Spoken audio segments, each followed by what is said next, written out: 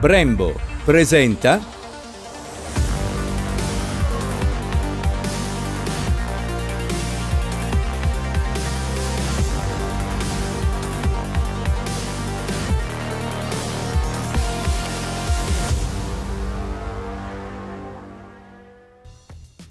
Fernando Alonso e l'Aston Martin sono consapevoli di partire a Monte Carlo con i favori del pronostico perché la AMR23 è la monoposto che grazie alle sue pance scavate riesce a generare una quantità di carico superiore addirittura a Red Bull alle basse velocità. E questo è determinante su un circuito con la media velocistica in assoluto più bassa e soprattutto diventa un supporto determinante nel tratto centrale che va dal eh, Mirabeau fino al Portier ma soprattutto c'è un aspetto psicologico a favore di Fernando Alonso, che sa di poter rischiare molto più di Verstappen e soprattutto di Perez, perché non deve guardare tanto la classifica e nel giro di qualifica poter rischiare passando vicino ai muretti e soprattutto tagliandosi i cordoli vuol dire fare meno metri e essere molto più veloci in uscita curva.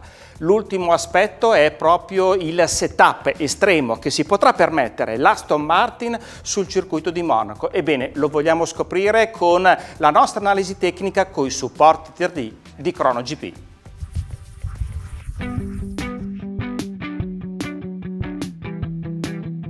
La Red Bull rimane un obiettivo troppo ambizioso per l'Aston Martin, ma Monaco potrebbe rivelarsi un'opportunità davvero unica.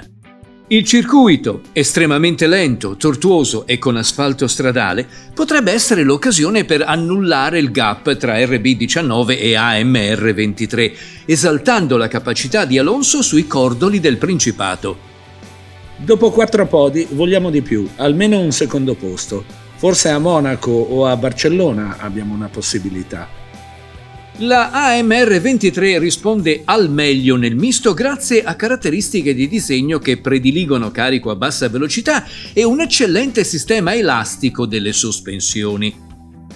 L'assetto Aston Martin, piatto in frenata e curva, mantiene il fondo ad altezza costante e più vicino alla pista, assicurando, anche nel lento, elevato effetto suolo. In curva il rollio agisce sulla cassa veicolo, ma viene neutralizzato dalla sospensione contrattiva che riporta carico sulla ruota interna migliorando l'aderenza.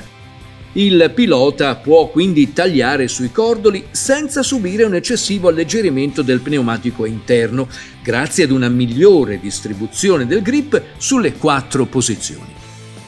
Agile nel lento, grazie alle sospensioni, la AMR23 riduce la sensibilità alle variazioni di assetto nel misto, conservando una incidenza di ali e fondo costante. Il flusso che alimenta il sottovettura assicura una depressione estesa su un'ampia porzione del fondo, a vantaggio di un ottimale bilanciamento aerodinamico.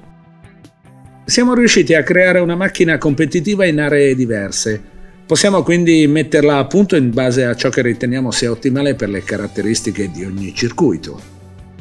Dan Fellows e Luca Furbatto hanno quindi gli strumenti e soprattutto la base tecnica per tentare un assetto estremo sulla AMR23, nel tentativo di estrarne il massimo potenziale sul circuito in assoluto più anomalo del calendario.